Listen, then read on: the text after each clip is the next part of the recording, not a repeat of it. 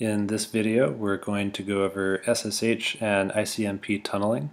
That just means taking regular internet traffic, IP traffic, and encapsulating it in another protocol like SSH or ICMP ping.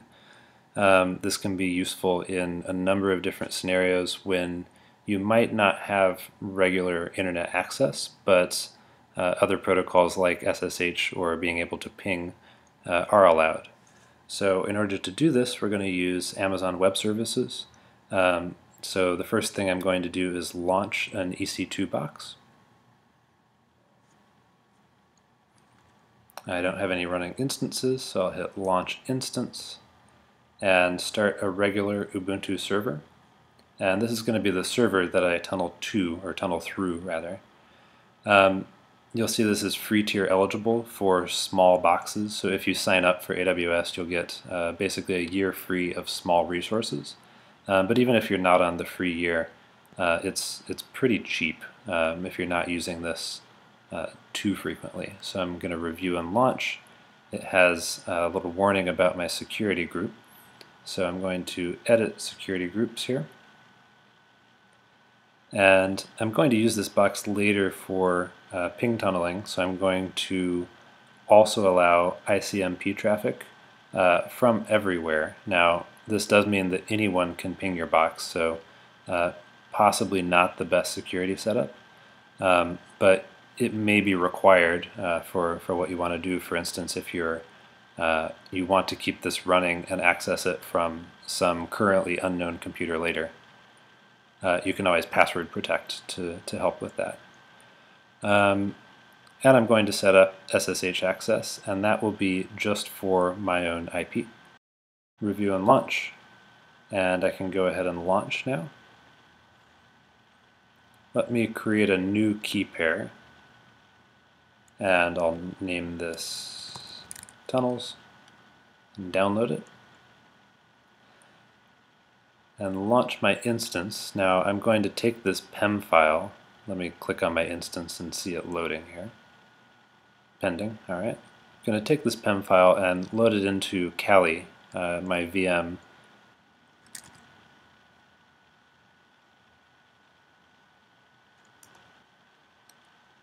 So I'm copying over my private key now, and let me go out to my Kali box.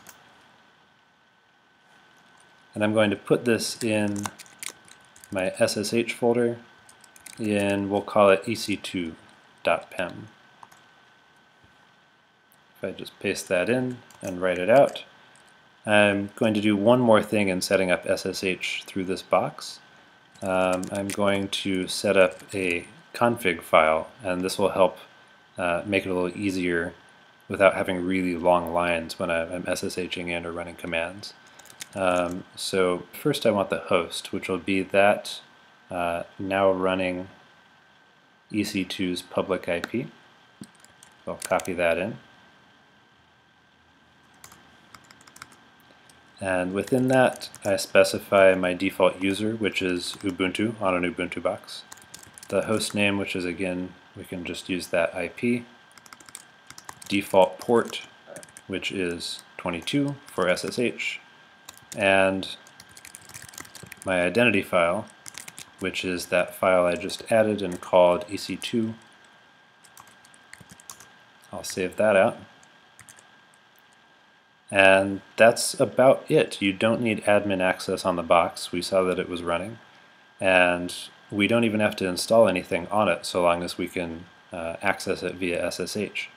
So I'm going to use a program called uh, Shuttle S shuttle, uh, shuttle with an extra S.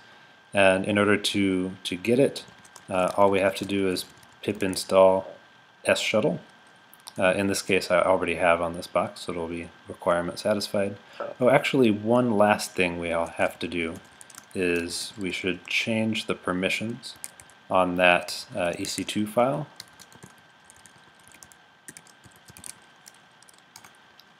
So now, and we can check, uh, we only have root read permissions uh, on that file to secure it. So now I can run uh, shuttle to connect It has a really handy DNS flag, which means we're also doing DNS tunneling, so uh, things like dig will also run through this tunnel. And I just point this at my Amazon IP again, and I can specify an IP uh, address or mask that I, I want to uh, route through it. In this case, I'll just route all my traffic through it. Yes, I trust myself. And it says client connected, so let's open up a browser and see how we did. I'm also going to capture this in Wireshark. So we do have an internet connection and we can see that the traffic we're sending is actually all SSH traffic. One last test, let's see if the uh, DNS flag worked. If I just open up a new terminal, let's dig for Google. And sure enough, that is also going through SSH uh, back and forth from that Amazon IP. Let's move on to ping tunneling, ICMP tunneling. We're going to use a tool called Hans. Um, there are a number of others, ping tunnel, ICMPTX, ICMP tunnel. Um, we're actually going to set it up on my local machine using macOS.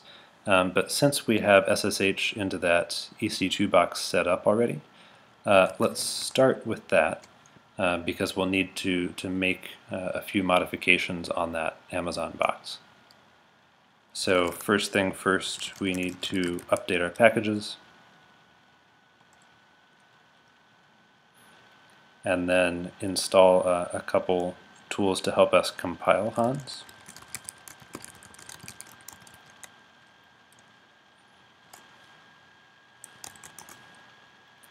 And if I go out here and look for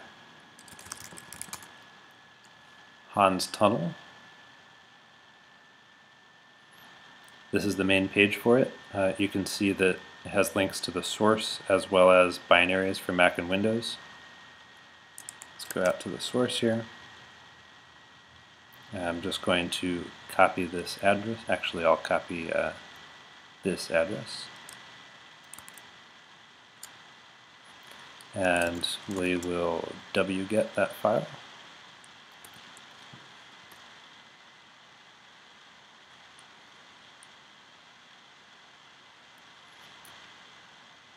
And then we're just going to unzip it and make it, compile it.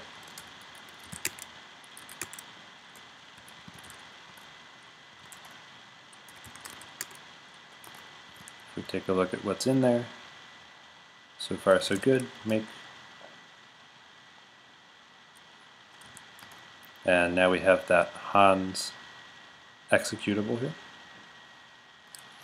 And we can run it. So I'm going to specify a, a device. This TUN0 is a, a tunnel adapter. Um, just like you have a Wi-Fi or Ethernet adapter, we're, we're creating this virtual tunnel. Uh, I'm also going to specify a password. Uh, let's choose a strong password. Don't do that, actually. And we can see it opened and detached, so it should still be running. Let's take a quick look. Uh, and here's the process. Now we need to do uh, a little configuration of IP tables um, so that we route traffic correctly. Um, I should also say the all of these commands are uh, in a link in some notes in the description of this video, so you don't need to um, take down all of them directly from the video here. Uh, the first thing we're doing here is setting the maximum transmission unit size, essentially the uh, size of uh, packets allowed. And with these next few commands, um, what we're setting up is IP forwarding to allow uh, essentially everything that reaches this EC2 box. Um, it's going to send back out to the uh, internet wherever it was heading to, stating it was heading to, um, once it uh, unencapsulates these packets, uh, ask, acting as if they are its own requests. Oh, I might need sudo here.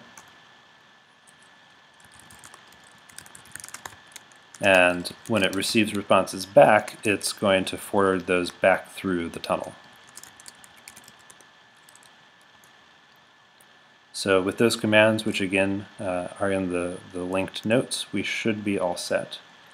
Now we're going to go out to my local computer. I would download this OSX binary. Uh, you could also compile it from source if you like. I, I already have it running. Um, the other thing you'll need, there are a couple links here for drivers. Uh, you know, TunTap is the, the name of this driver that you'll need uh, in order to set up tunnels on your, your local machine.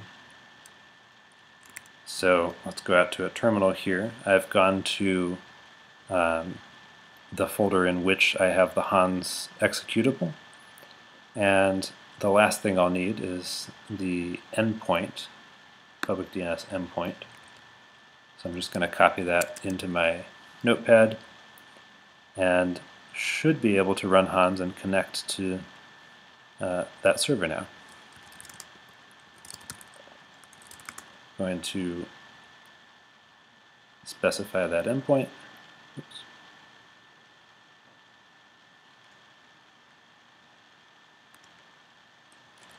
Going to use the same password that I specified before and specify the virtual tunnel device.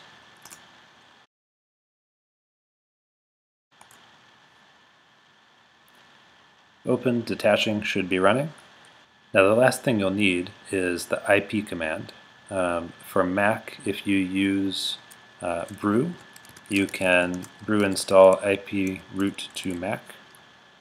And we're going to use the, the route command, so this will be IP route for Mac OS, and in Windows, uh, all you need is just route.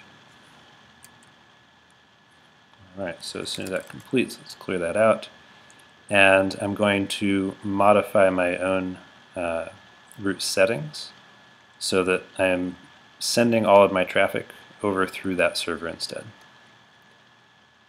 So first we copy over that same command that we did previously.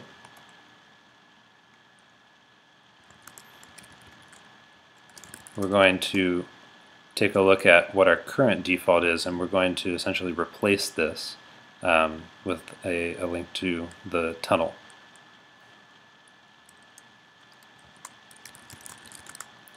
So I'm going to copy that public IP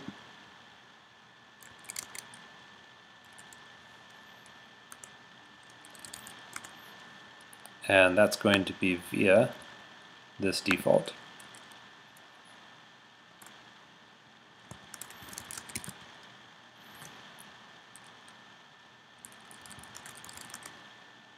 I'm going to delete the previous default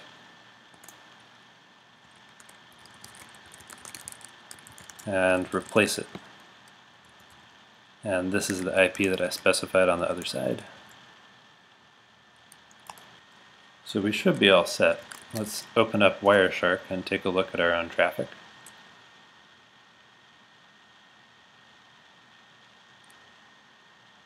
I see a lot of ICMP traffic.